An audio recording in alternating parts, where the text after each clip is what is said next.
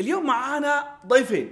ال Huawei Nova 5T وال Galaxy A70 هيك الطلبات كانت من الجماهير التي تتابع إنه اعمل لنا مقارنة بينهم. اعمل مقارنة بينهم لأنه السعر يعني تقريبا متقارب. خلونا نشوف يا جماعة الخير شو نشتري. Nova ولا ال Galaxy A70 خليك معي.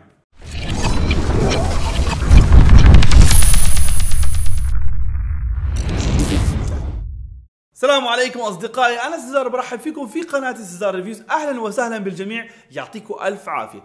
في هاي الحلقة مقارنة بين Nova 5T وال Galaxy A70 بعض قد يختلف معي أو البعض قد قد يعترض وأنا يعني معاه بالاعتراض ولكن لأنه أجد طلبات كثيرة إنه بين هذول الجهازين الناس لما بتطلب مقارنة بين الجهازين بيكونوش يعني فعليا عارفين إنه والله هذول ممكن يكونوا من فئات مختلفة. لذلك أنا بدي أعمل هاي المقارنة لأنه فعليا ممكن يكون حدا معاه مثلا 250 دينار إلى 300 دينار أردني وبدي يشتري جهاز. هذول الرق... ال- هاي المصاري بتجيب ال Galaxy A70 وبتجيب ال Nova تقريبا 5T فبكون محتار. فيديو زي هذا إن شاء الله بيشيل عنك الحيرة.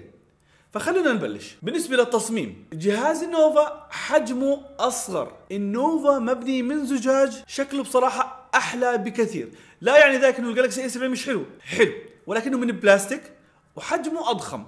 فإذا هذول الأمور بتفرق معك بصراحة يعني المفروض تختار ال Nova 5T إذا بيفرق معك الحجم. أنا بالنسبة لي بسبب الحجم والزجاج بعطيه نقطة لل Nova. بالنسبة للشاشة هلا ال Nova عنده 6.26% إنش LCD Full HD Plus أما ال Galaxy A70 فعنده ال Super AMOLED 6.7 إنش. بدون نقاش أنا بعطي النقطة هون لشاشة ال Super AMOLED الرائعة. بالنسبة للأداء ال Nova عنده معالج flagship اللي هو ال Kirin 980 أما ال Galaxy A70 عنده معالج متوسط من Snapdragon 675 بدون برضو نقاش هون أكيد راح أعطي النقطة للأداء الأفضل لل Nova ونقطة لل Nova. بالنسبة للسعات التخزينية، عندهم تقريبا نفس السعات التخزينية، ال Nova عنده إما 128 جيجا مع 6 جيجا بايت RAM أو 8 جيجا بايت RAM، وال Galaxy A70 عنده 128 إما 6 جيجا أو 8 جيجا بايت RAM.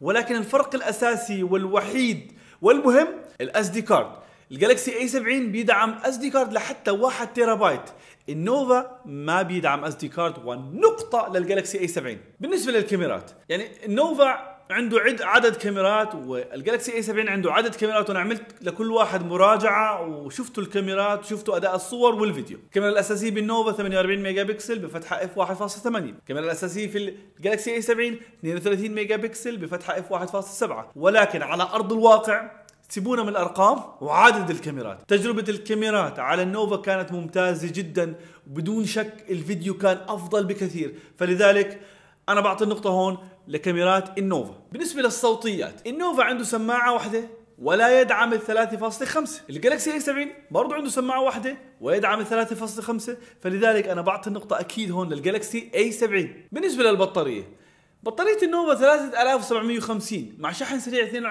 22.5 واط. أما ال Galaxy A70 فبطاريته 4500 ملي امبير مع شحن سريع 25 واط. بالأرقام ال Galaxy A70 يتفوق. ولكن بدي أذكر نقطة إنه المعالج ال Kirin 980 هو أفضل في استهلاك الطاقة. فممكن تشوف الأداء بين الجهازين متقارب جدا. ولكن حسب الأرقام ال Galaxy A70 أفضل. بدك تحسبها صح أنت هون في مخك هل بدك بس رقم كبير ولا بدك جهاز فيه معالج اداؤه ممتاز في سحب الطاقة. هيك بدك تفكر. يعني هذا ضل نحكي بالسعر. في الأردن سعر ال Galaxy A70 أعتقد 250 260 دينار أردني. ال Nova 305 دينار دينار أردني. أكيد ال Galaxy A70 سعره أقل من ال Nova.